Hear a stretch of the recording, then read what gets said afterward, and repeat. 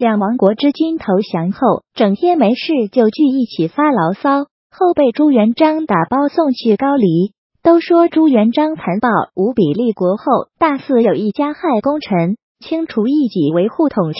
当然，这一切都是真的，但是你们只看到了他对功臣残忍，却没看到他对百姓的庇护。可以这样说，朱元璋在位期间是老百姓地位最高的时候。因为只有这个时候，百姓才不会害怕当官的朱元璋对功臣是残忍了点，但对亡国之君却给予了莫大的宽容。一三六三年八月，大汉皇帝陈友谅在鄱阳湖大战中中箭身亡，太子陈善儿被擒，陈友谅的次子陈礼。一三五一年一四零八年，在太尉张定边的保护下，载上陈友谅的尸体逃回武昌，并在武昌继位称帝，改年号。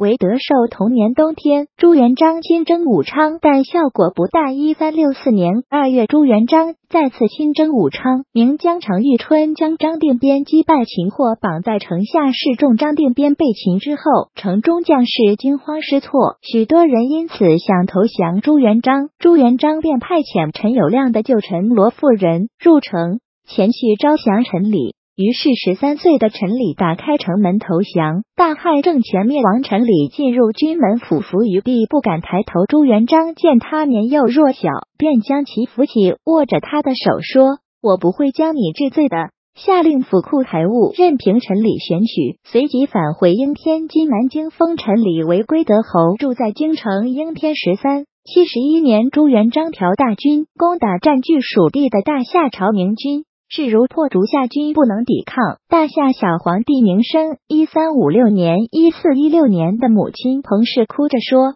我们可以去四川成都，但这也只能延长旦夕寿命，因为大军所过势如破竹。我们不如早一点投降，以挽救百姓的性命。”于是派遣使者携带奏章前去朱元璋军中启降。十五岁的明生反绑双手，车载棺材，与母亲彭氏及官属。前往军门投降，军中将士秉承朱元璋旨意，对其加以抚慰，并下令对他们不得有所侵扰。后来，明生与其母彭氏等人全被押送京城。大夏国灭亡等，明生与其母彭氏等人到达南京后，明朝李臣奏道：皇帝御临奉天殿，明生等俯伏戴罪，与午门外有关官员宣读赦免诏令，就像从前孟昶降宋一样。朱元璋说道：“明生年幼弱小，凡事听由臣下，与孟昶不同，所以应当免去他伏地上奏戴罪之疑。”当日，朱元璋封明生为归义侯，并赐居京城。陈礼和明生这两个亡国之君，因为同住京城，年纪相仿，身份地位又相似，所以一来二去的就玩到一起去了。后来还成了好哥们，富足的生活。加上无事可做，让陈礼和明生整天没事就聚一起闲聊发牢骚，有时还口出怨言。朱元璋知道此事后，说这只是小孩所犯的过错，恐怕他会受到小人的欺骗诱惑，不能牢记朕对他的恩典，还是应当让他远离京城为好。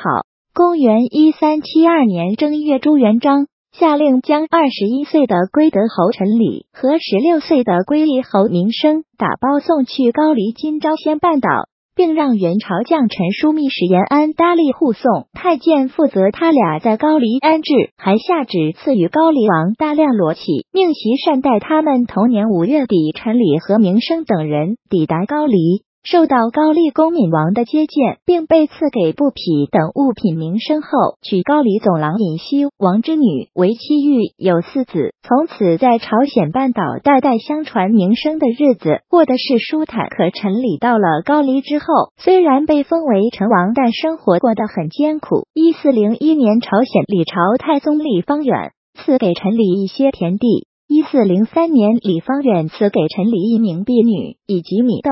一四零四年，李方远赐给陈李米四担酒十瓶。一四零八年，陈李去世，李朝礼部赠米豆五十石，值百卷，赐棺椁。陈李玉有一子陈明善，也在朝鲜安家了。喜欢的话，多多关注，多多点赞，多多收藏、转发和评论。谢谢本人，其他文章也很精彩，欢迎品读。